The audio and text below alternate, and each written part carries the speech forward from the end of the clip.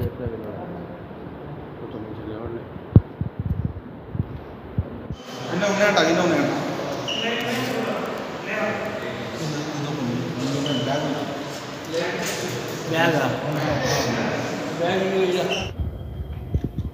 ఈరోజు Cyberabad police commissionerate ఆధ్వర్యంలో SOT Shamshabad zone inspector Praveen వాళ్ళ సబ్ ఇన్స్పెక్టర్స్ వెంకటరెడ్డి తర్వాత వాళ్ళ సిబ్బంది అందరూ ఇది ఇన్వెస్టిగేట్ చేసి ఒక ఏడు చైన్ స్నాచింగ్ అఫెన్సెస్లలో ఇప్పటివరకు పాల్గొన్న కావలి శ్రీనివాస్ అనే అతన్ని మనం పట్టుకోవడం జరిగింది.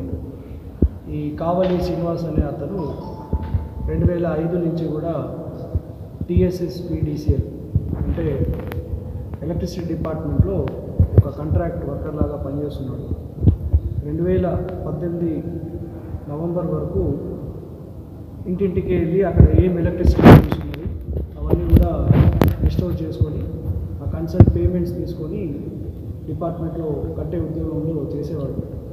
అయితే నవంబర్ రెండు వేల పద్దెనిమిదిలో గండి మైసమ్మ ఏరియాలో ఇతను పనిచేస్తున్నప్పుడు అక్కడ చాలామంది పబ్లిక్ కంప్లైంట్ ఇవ్వడం జరిగింది. ఇతను వాళ్ళ దగ్గర నుంచి డబ్బులు తీసుకొని కరెంట్ డిపార్ట్మెంట్ కట్టట్లేదు అని.